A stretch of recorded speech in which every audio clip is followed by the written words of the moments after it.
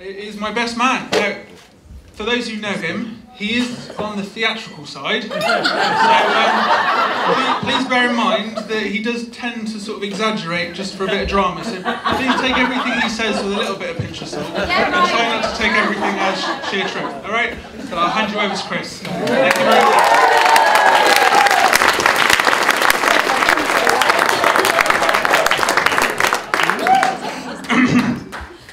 Despite how theatrical you may think I am, I'm actually dead scared about making this speech. In fact, I was so scared I had to get some wise words of wisdom from my dad. Before making this speech, my dad said to me, Don't worry, Chris, just picture everybody naked. Which, to be honest, worked a treat when I looked over at the bridesmaids. But in all honesty, made me feel a lot worse when I looked over at my dad. Um, ladies and gentlemen, for, for those of you that don't know me, I am Chris. I'm Richard's younger brother and best man. Thank you, Richard. Um, I'm very, very much looking forward to getting on with my speech, which I will be starting very shortly. I will make you aware that I intend on using a projector and a screen throughout the duration of my speech. So uh, what I'm going to ask is if you guys could shift yourselves into a position where you can see this screen. And if uh, Tom and Will, you could both help me get people into a position where they can see. Uh, I've just been informed by my brother that he forgot to give me my present. So, uh, here, yeah, this is me presenting my own present. Thank you, Rich. So, without further ado, I will get on with my speech. If I could just find it. Hang on, Dad, Dad can you check my um my, my jacket pocket, please, for my speech? No, Can you find it? no, where is it? Well, I gave it to you. Have you got my speech? Mm, no, sorry. R- Rich, have you got my speech? Uh, ladies and gentlemen, this is uh, rather embarrassing, but I think I may have left my speech at home. If you all just bear with me, I will be right back and uh, I will continue my speech from then. Uh, see you all in a minute.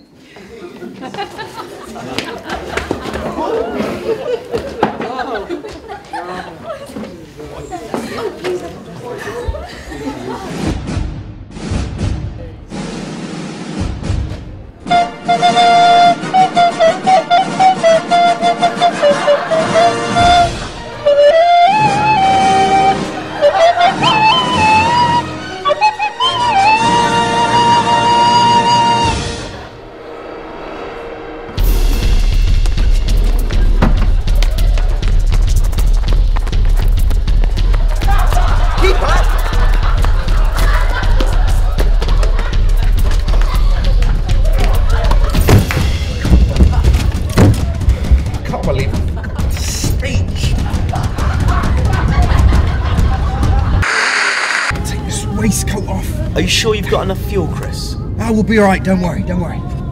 You filming? Yeah, camera's rolling. Hi everybody, can you all hear me? Hi Rich, hi Emily. I'm just on my way home at the moment. I think I know where I left the speech, so uh, everything's under control. Are you the best man at your brother's wedding? Have you forgotten your speech and are now on the way home to find it? Hey, that's me! Well, there's no saving you now, you idiot. You've ruined the day for your brother, his bride, and the entire family. Good luck. Is your now, while I make my way back home to find my speech, I'm going to pass you over to Emily's best friend, Megan, who unfortunately can't be there today. Which makes two of us. Good evening, everyone. I hope you're all having a wonderful time. If, for those who don't know me, uh, my name is Megan, and I've had the honour of growing up with the now Mrs. Emily Read. The mother of the bride has kindly asked me to say a few words because, as you can see, I'm on my medical elective in the Solomon Islands. My first memory of Em was when we were both four years old and she came round for a sleepover and gave me chickenpox. Great first impression, thanks very much, Emily, but I think you've made up for it over the years. I can't quite believe that my beautiful, insanely intelligent, slightly ridiculous best friend is getting married and is now Miss Emily, Mrs. Emily Alice Read, or Mrs. Ear. I'm so proud of her. All through our teens, as girls do, we planned and thought about our wedding days. And as you can see here, Emily went, went, went so far as to design her own wedding dress.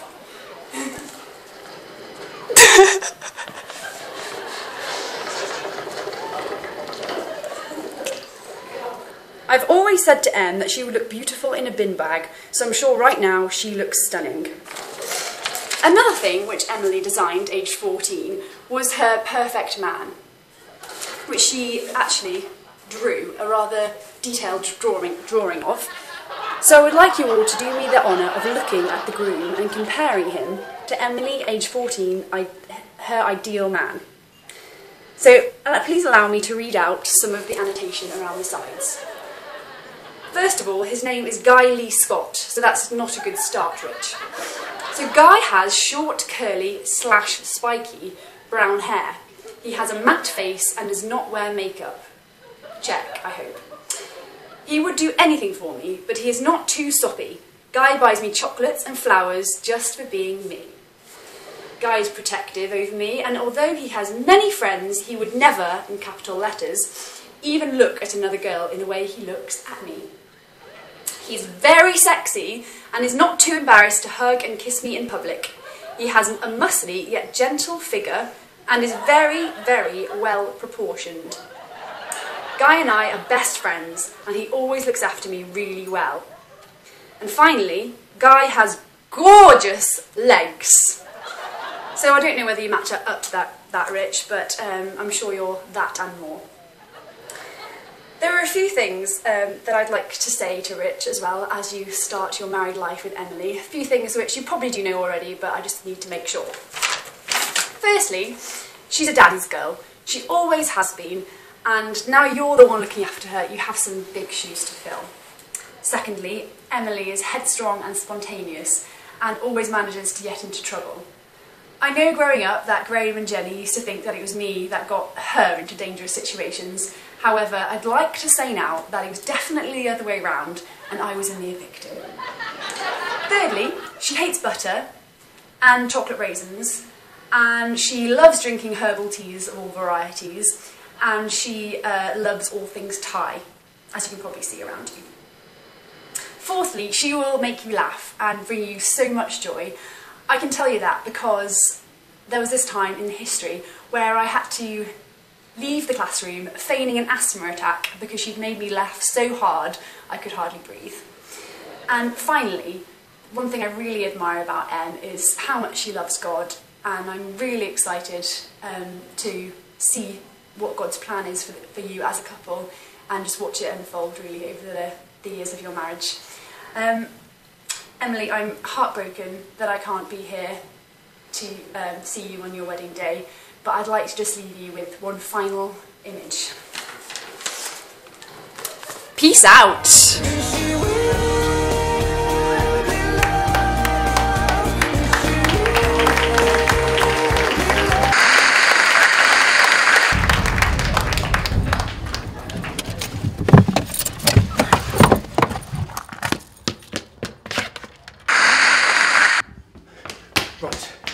Know I left that speech somewhere.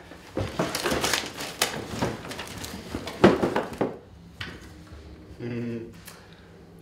Now, to say that it was love at first sight between Richard and Emily may be stretching it just a tad. After all, this is what Richard looked like when they first met. I like to refer to this as Richard's Rambo days. Long tied back hair, big muscles, with a sprinkling of jewellery. Kind of a girly Mr. T, you might think.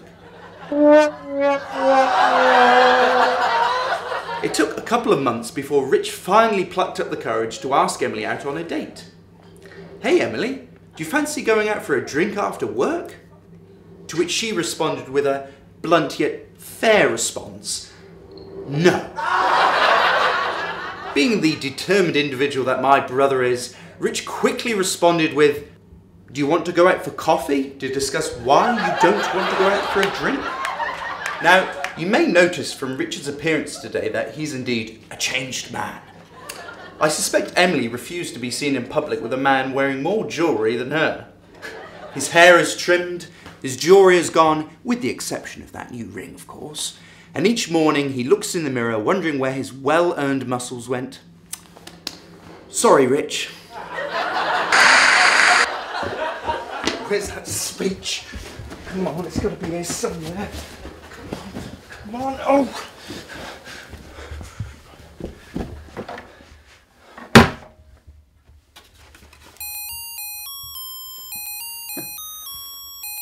Now, it's probably fair to say that things didn't shift a gear romantically until Emily's 21st birthday party. At this point, Richard and Emily were still trying to figure out whether they were just work colleagues or maybe something more. To everybody else in the office, however, the writing was already on the wall. Anyway, Emily's 21st birthday party. It had quickly been noted that Richard had arrived at the party before anybody else, mooching, sauntering, and lurking with intent at one end of the garden. now, you have to remember that this was a work colleague of his. I think it's probably fair to say that most of us would arrive just a little late to make sure that plenty of other people had arrived well before us. But no, there Rich was, on his own, with Emily, both of them dressed to the nines. With hindsight, there must have been some sort of code of silence between the two of them because once all the other guests started arriving, Richard and Emily both proceeded to ignore each other the entire evening. It wasn't until the end of the night where Richard decided to make his move by hanging around afterwards, waiting for all the other guests to clear off. Now, this is where, so legend has it, we're led to believe where the first snog happened.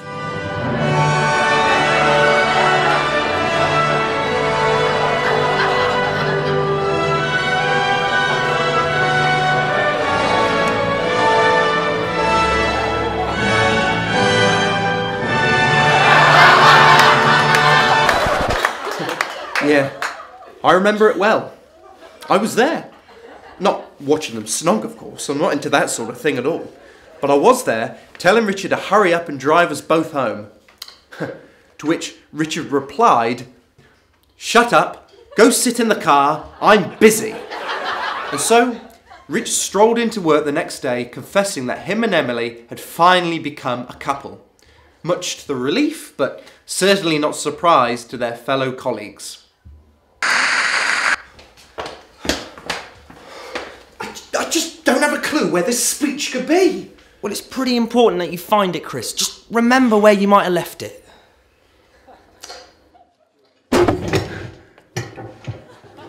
Ah! Found it!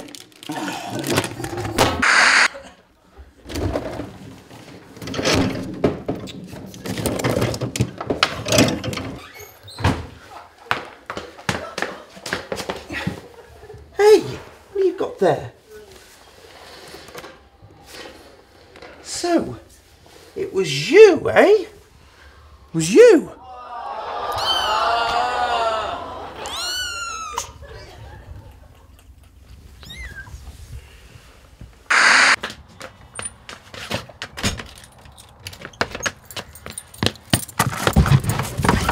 You just uh, practice this speech then.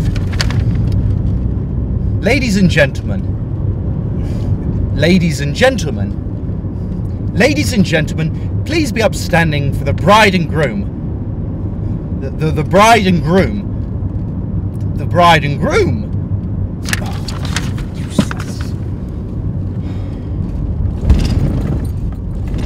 Oh, have you just hit something? What's wrong with the car? Oh, quick. Pulling over here. Brilliant. Well done. Out of fuel. What are we going to do now? The whole thing's just gone to pot. Just let me think, let me think. Well, we haven't got time to think, really, Chris. You've run out of fuel and we're just in the middle of nowhere. Right, get out the car. What? Get out the car! Oh. I've got an idea.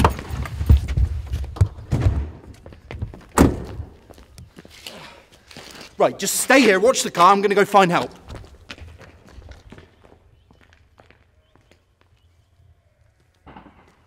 I've had it up to here with you, you mechanical cretin! 103, we have reports of a tall Caucasian male vandalising a car in your immediate vicinity. Could you please investigate? Copy that, Alpha 4. We see them. We are approaching them now. Excuse me, sir. Is this your car, sir? Do you want to tell me why you're beating a car, sir? I'm going No, to you ask you don't to put get the it. stick down, sir. my- Put the stick down. my Can car. you turn No, and no, face the bonnet, no, sir? don't get it. It's Turn my and car. face What the are you doing? bonnet, sir. Ah, I'm the best man! Cuff What are him, you Jenkins, cuff him. Right, get him in the back. Face Hey. Him. Excuse me, sir. Why are you filming, sir? Um, we, we, we're Is this your camera, sir? Yes. So I'm going to ask you to put the camera down, sir. Um, what- what- Can you put the camera down, I please, see sir? no. Sir, if you don't put the camera down, I will have to take action against you, sir. Sir, put the camera down. my This is your last warning, sir. No, well right, within- that's it. sir, you are being tasered. Do not resist. Would you just like to come with me, sir? Just get the back of the car for me. Thank you. Hey, what's going on? Look, this is a misunderstanding. I've got to do it. down the station, sir. What? I can't go to prison. Hey, look, look, there's a misunderstanding. Alpha 4, this is Unit 3. We have detained the suspects. We're on the way down to the station now. I'm Over. the, I'm the best man. Seatbelt, sir. Oh, great. What am I going to do now? Chris, everyone's watching. Just say something to the camera. Rich, I just want to say that I've always looked up to you, even though I'm three inches taller.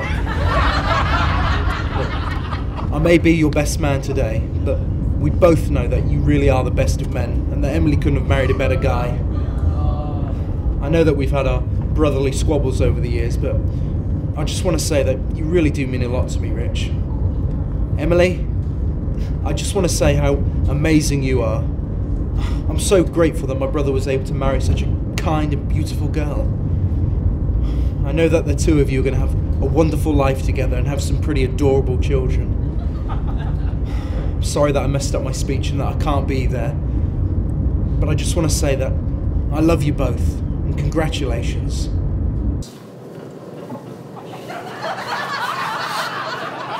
Oh, Jenkins, what is wrong with you? Show a bit of professionalism, please. Sorry. That was beautiful. Will you stop crying? You're a police officer.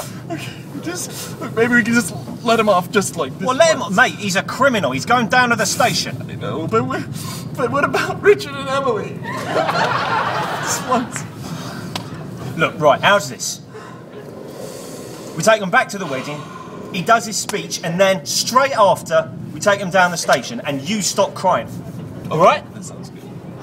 Right. You're going, man. You're going to the wedding.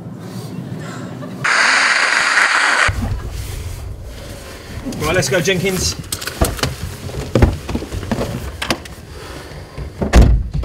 Come on, watch your head. All out. Mind your head, son. Mind your head. There we go. Right, now remember what I said to you in the car?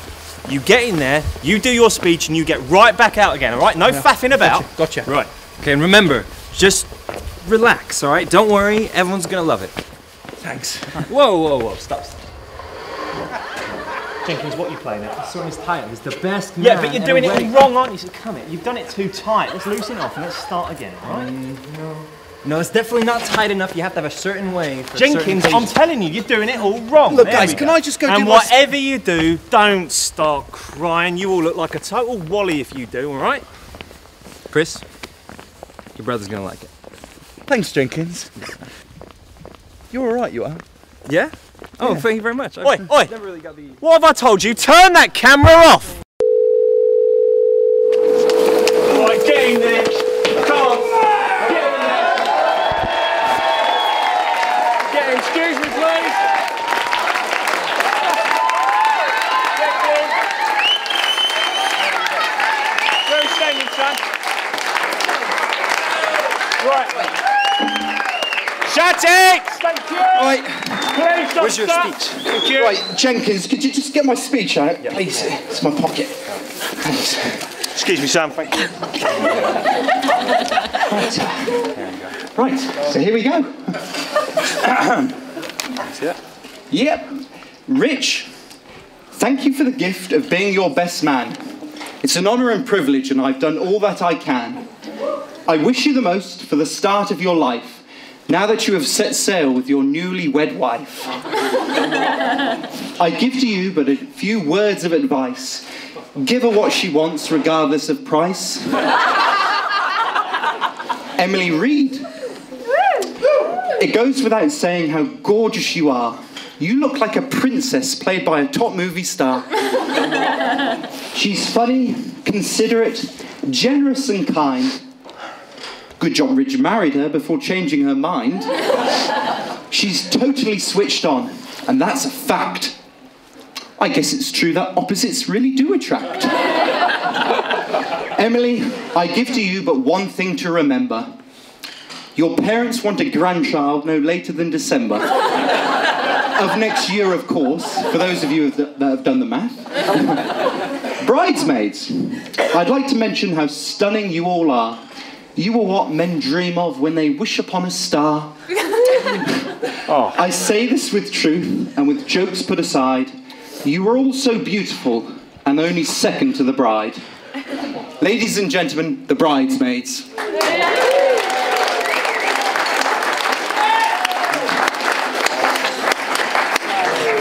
Richard, Emily, getting married is a glorious day to express your love and for Rich to prove he's not gay.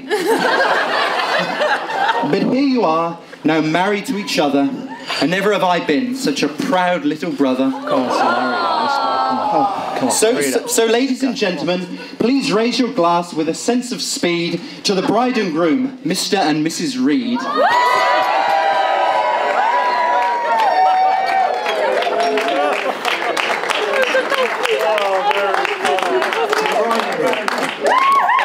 You oh,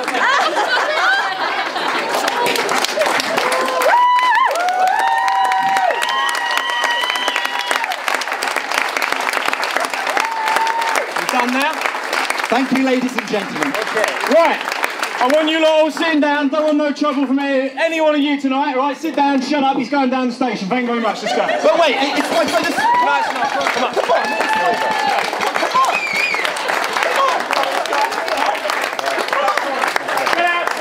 And can I just say, have a wonderful evening. Thank you. Let's go.